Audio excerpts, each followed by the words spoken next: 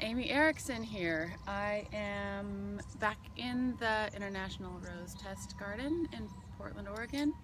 Um, it's still pretty early and a bit overcast. Well, not overcast, but there's a, one big cloud over there. And these English roses, just so beautiful. I can't look at them enough.